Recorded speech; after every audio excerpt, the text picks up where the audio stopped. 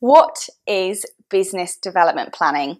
Well, in short, it's the strategy for, for figuring out exactly how we will get the results it is that we're looking for. It's how we're going to achieve what it is that we want to achieve by setting into place specific growth strategies.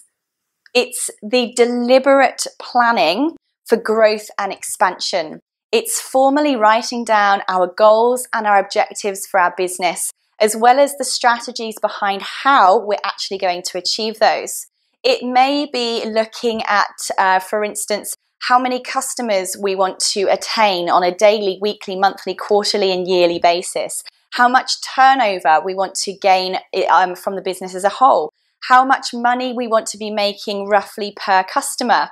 This is where we're really getting a very clear picture of where we're at now, where we want to go, and how we fill that gap so that our business grows either financially, preferably financially, uh, and, uh, and in size so that we have more capacity to increase our turnover as well. So in short, that is a very snapshot uh, version, I can speak, of what business planning actually is.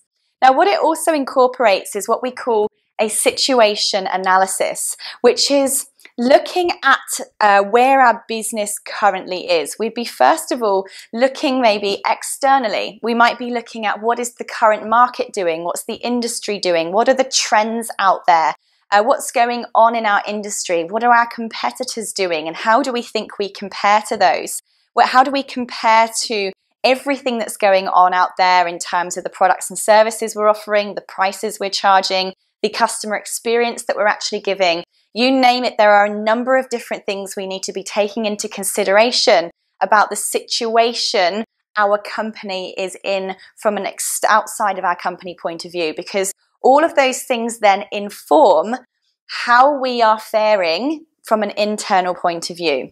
So, internally, then, we are looking at the way we do things inside. This is more about the how we achieve what we need to be achieving in order to be competitive and profitable.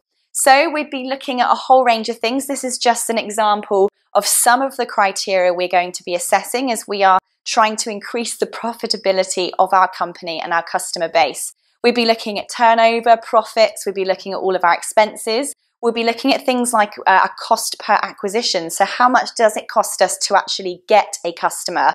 Um, how hard do we have to work to convert that customer from a prospect to a paying customer?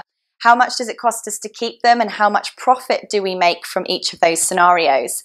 how hard do we have to work in order to turn over X amount of money? So, therefore, how many customers do we have to get in front of and uh, expose our business products and services to? In what ways do we have to do that? How many of those people that we um, get our business exposed to do we then have to um, make into paying customers?